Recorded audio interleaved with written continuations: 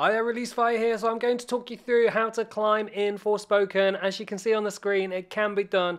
As ever, hopefully the video helps you out. If it does, drop me a like below, subscribe to the channel. It's massively, massively appreciated.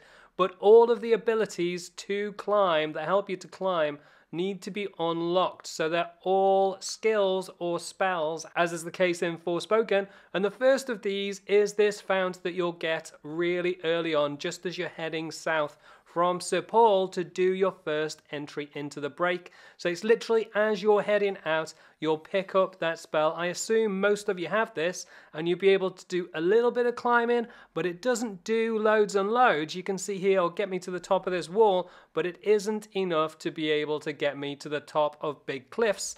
And I'm going to talk you through that now. So to be able to get up to the top of cliffs, you need to have beaten the first of the Tantas, Tantasila. Once you beat her, you'll take on all of her skills and abilities. And one of these is called Zip, and it's a spell that you get as soon as you take out Tantasila, and you'll be able to zip to these anchor points. So there's two types. There's one that comes out from a wall like this. It's like a little spike that you spin around and jump forward. And then there's these that are on cliffs that will shoot you high up in the air. Now it takes a little bit of time and you've got to get your aim just right. You'll need to combine it with zips off the wall as well.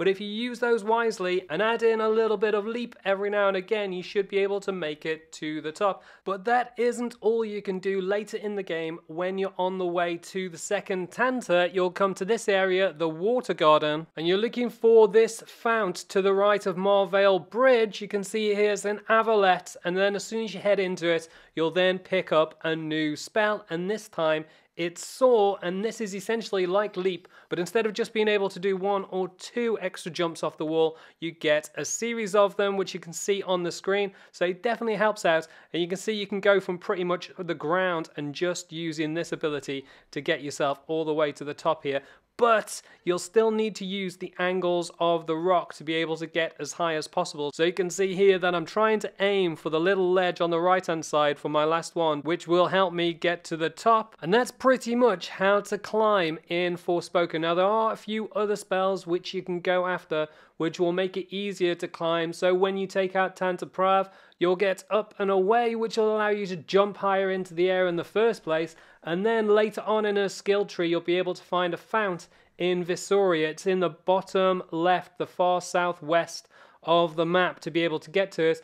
It's the Lilac Fount and it's located in Inner Visoria, far to the southwest. So that's one you'll pick up later in the game and that will allow you to float across divides, which will allow you to get to some of the places that are a little bit more hard to get to. But with all of that, you've got access to the full map with the climbing abilities and everything else I just talked about there. And that, like I said, is how to climb in Forspoken. If the video helps you out, drop a like, subscribe to the channel with the link on the left hand side, and you can see more of my guide videos for Forspoken with the links on the right hand side. Leave any comments, let me know how you're getting on in the game, and I will catch you next time.